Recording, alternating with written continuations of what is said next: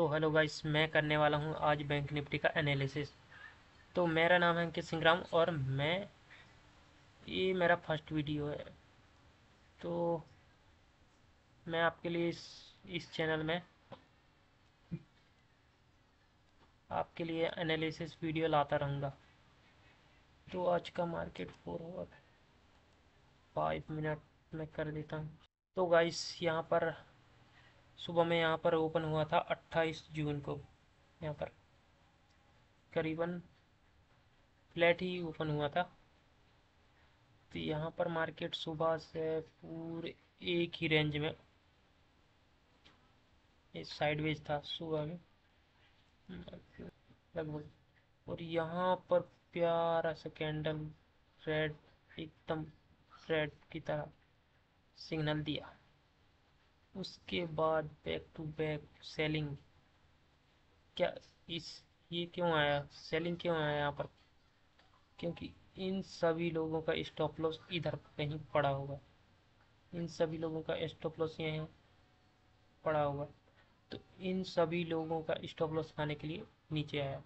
लेकिन लेकिन ये पुल बैक क्यों लिया? मालूम है क्योंकि यहाँ पर मार्केट मार्केट का ऑपरेटर भी सोचा हुआ कि यहाँ पर यहाँ पर ब्रेक डाउन सीधे ब्रेक करेगा तो ज़्यादा लोग इंटरेस्ट थे।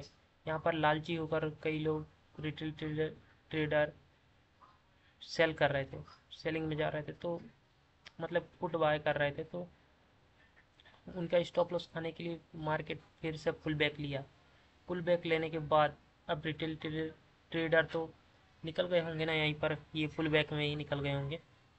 तो यहाँ पर से फिर मार्केट अच्छा खासा सेलिंग में गया। करीबन बावन हज़ार चार सौ तक पहुँच चुका। बावन हज़ार आठ सौ से बावन हज़ार चार सौ तक पहुँच गया। बावन हज़ार आठ सौ से बावन हज़ार चार सौ तक गिर चुका था। फिर मार्केट यहाँ पर से सपोर्ट लिया ना। सपोर्ट लिया। मार्केट इसका सपोर्ट लिया।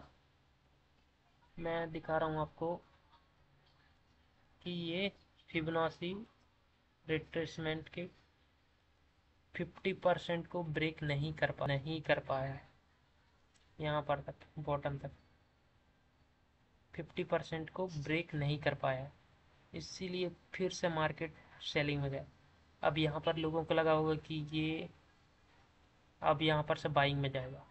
तो रिटेल ट्रेडर यहाँ पर घुस गए होंगे तो यहाँ पर से घुसे होंगे तो उनका स्टॉप लॉस खाने के लिए नीचे गया बैक टू बैक तो आज कल का मार्केट कैसा रहेगा? मंडे का मंडे का मार्केट